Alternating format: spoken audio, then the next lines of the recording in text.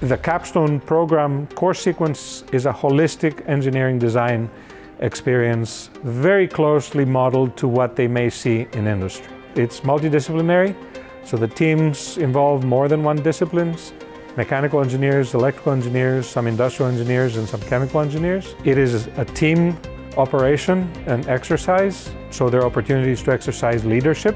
Uh, they have to learn teamwork, they have to deal with interpersonal uh, challenges, and they also have to deal with project management.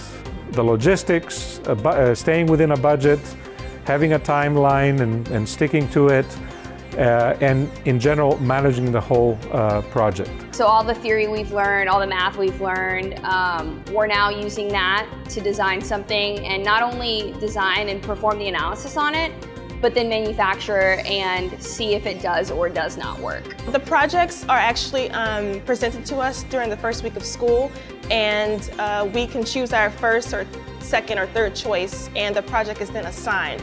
So they go through maybe about 40 projects and you just kind of choose which one you want to do. You know, this isn't something that just the average Joe gets to do. You know, I've been super blessed in being able to get be, be put on this project and learn this awesome technology and get, you know, my elbows deep in it and just kind of test and break things and figure things out and take risks. And I think it's going to make me a better engineer and it's really going to help me in my future career. Um, you know, this is the kind of the, the path that I want to take with my career and I'm getting that hands-on experience already and learning that process so early on before I even step foot on the, in the job. I'm doing it because I love it. You know, it's, it's not about the grade anymore.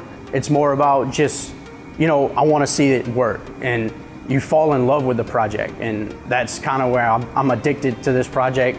And it's all I think about. It's, it's literally, you know, I go to sleep thinking about how I can improve one part of it.